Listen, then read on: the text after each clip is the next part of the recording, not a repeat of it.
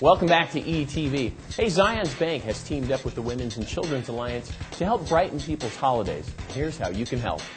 It's really important for Zions Bank to support the community. We want to give back to the community where we live and work, and the holiday tree lighting celebration has just been a fabulous event for us. When you see the families come to downtown Boise, they gather here in the Grove. We have a beautiful candle ceremony. We have caroling vendors.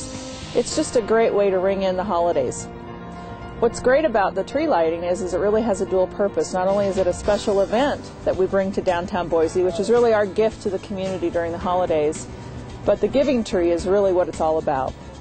And the tags on the giving tree help support the women and children at the WCA, and that's really why we do it. The Giving Tree provides wonderful gifts for our families, for our women and children that stay in our shelters.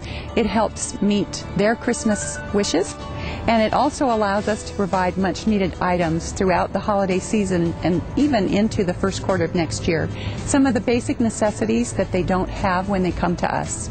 So we're so grateful for this opportunity to, to uh, be the beneficiaries of the Giving Tree. Actually, there are four giving trees that are surrounding the big tree in the center here of the plaza. And on each of those trees, you will find tags, different color tags, and each of those tags represents a wish and or an item that is critical to the needs of the women and children that live in our shelters. On the back side of the tag, you'll find information about what to do with the items should you choose to take a tag and help fill a wish. And B, what's so special about those tags is, is these are really just ordinary everyday items that people need. Clothing, toys, household items, very basic needs, but they're people's Christmas wishes. And so we really hope that the community will come out and support the Giving Tree by taking one of these tags, bringing the unwrapped item or items to any Zions Bank branch in the Treasure Valley before Christmas, and we'll be sure to get them to the WCA safely so that everyone can have a Merry Christmas. We appreciate this partnership so much, Tony.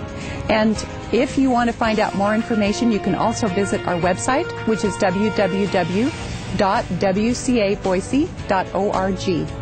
And thank you again to Zions Bank and to all everyone in our community for helping fill these wishes. Thank you.